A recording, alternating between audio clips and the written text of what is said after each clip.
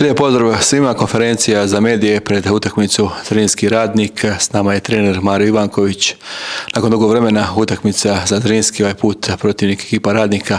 U kakvom je stanju momčad u oči novog eh, susreta u Vevin Ligi Bosne i Hercegovine? Pa evo, kao što ste rekli, već dugo vremena, dugo neobično za nas da nemamo utakmice. Iskoristili smo ovaj pripremni ciklus onaj reprezentativne stvari, da, da pojačamo par treninga i evo, zadnja dva, tri dana smo osvježavali ekipu i nadam se da je sve u redu i da smo spremni sutra odigrati jednu kvalitetnu utakmicu protiv ekipe Novajlije u ligi koja hoće da igra, koja zna šta a, hoće na utakmici. Svjesni smo toga, ali svjesni smo i naše kvalitete. Evo i kaže i roster nam se popravio, imamo tih e, slatkih problema za nekoga slatki e, što se baš i ne može reći, ali raduje povratak e, ozlijeđenih igrača i, i nadam se evo sutra da ćemo odigrati jednu kvalitetnu utakmicu, pokazati da smo s pravom na prvom mjestu i naravno idemo po tri boda.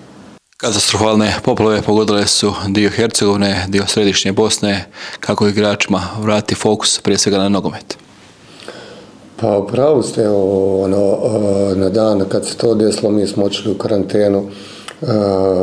za utakmicu protiv Igmana i priželjkivali tu utakmicu, ali došlo je do otkazivanja cijelog kola i mislim s razlogom jer su svi bili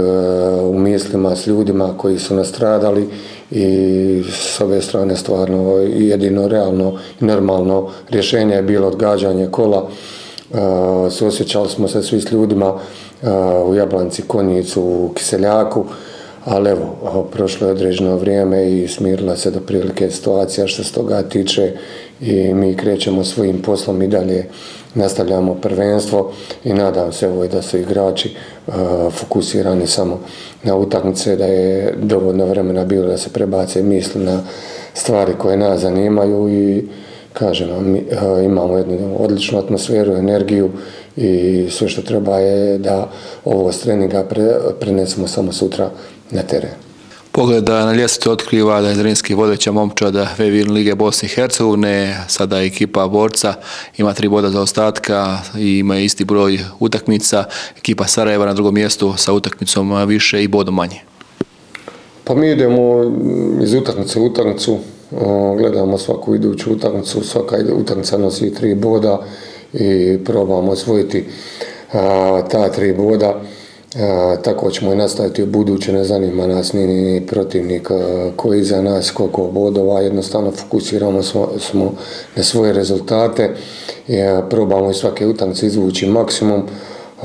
to vrijedi evo, već od sutra. I nadam se evo, pred ovaj niz nekih gostujućih utakmica, da ove dvije utakmice protiv radnika i Igmana, da ćemo riješiti svoj korist i tako zadržati ovo vodeće mjesto. Idemo se malo vratiti u prošlost, sezona 2008-2009, a vi ste bili u igračkom kadru kada je Zrinski osvojio nasu prvaka zajedno sa Veliborom Đurićem i Mladenom Žižovićem. Zanimljivo danas Žižović vodi ekipu borca, a Velibor Đurić ekipu radnika. Pa evo, dobro ste rekli, stvarno raduje me i susret s Đukom kojim sam ostao cijelo vrijeme, kontakt isto kao i sa Žižovićem na strojica nakon eto 15-16 godina da, da vodimo prvoligaške klubove stvarno rijetko ko bi pomislio da će to da se desi ali izborili smo se za te neke stvari tu smo gdje jesmo i stvarno se radujem sutra evo i utakmici s radnikom susretu s Đukom koji je u dvije, tri godine preporodio radnik, vratio ga u Premier ligu i stvarno im želim svu sreću u nastavku, ali sutra mi imamo svoju računicu i probat ćemo da dođemo.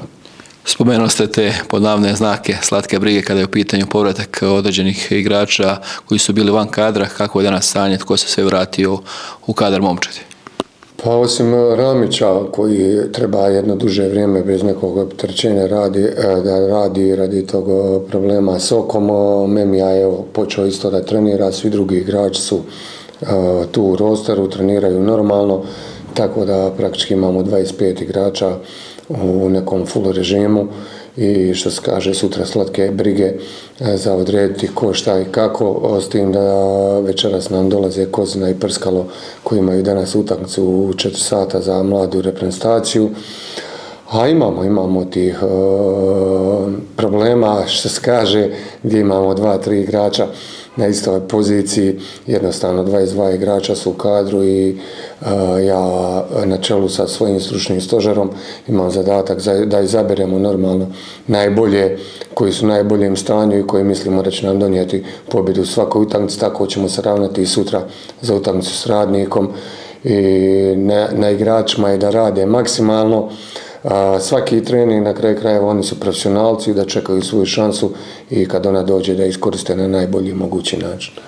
Evo trener samo nadopuna, spomenuo se dosta tih imena o povratku, na, čini mi se da je ostalo ime Nemanje Bilbije, kako je njegova situacija i kada ga navijači mogu očekivati na terenu.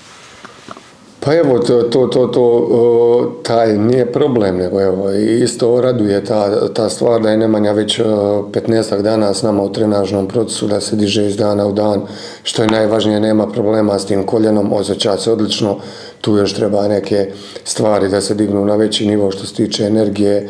duel igre, ali Nemanja je fanatika što se tiče rada i naša neka razmišljanja su ove prestojeće utakmice, možda čak i utakmica s radnikom gdje će on biti u kadru 22 igrača, da polako uvodimo Nemanju igru, da ga dižemo, jer on jednostavno nama treba i ko igrač i kao kapetan